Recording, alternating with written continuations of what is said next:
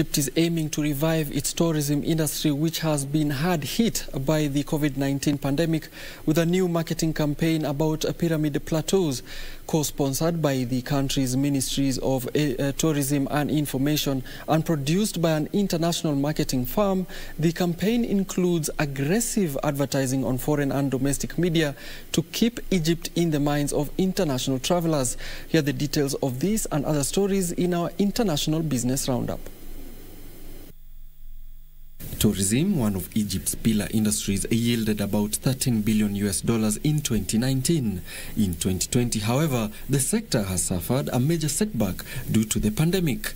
Egyptian authorities hope that once the second wave of the pandemic is over and restrictions are lifted, travelers will choose Egypt as a priority destination.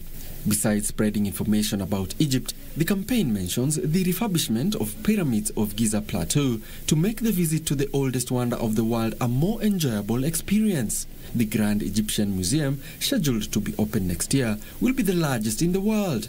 The project reveals Egypt's intention on global promotion. The campaign also focuses on Egypt's health measures and conditions. Elsewhere, Samsung Electronics has reported record revenues of $59 billion for its third quarter. The strong revenues was fueled by a 50% jump in smartphone sales, while profits from microchips increased 82%. The Korean tech firm posted a third quarter net profit of $8.3 billion, a 49% increase over the same period last year. Samsung's mobile and chip businesses were likely boosted by US sanctions against its Chinese rival Huawei.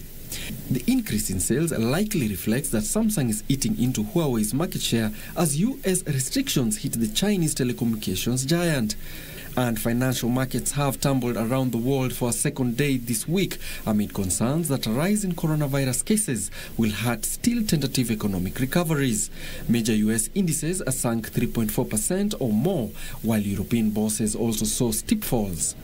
The UK's FTSE 100 ended almost 2.6 lower Wednesday, and Germany's DAX dropped 4.2%.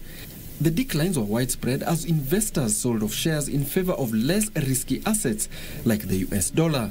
In the US, travel and energy firms, which are sensitive to concerns about the pandemic, suffered some of the steepest losses.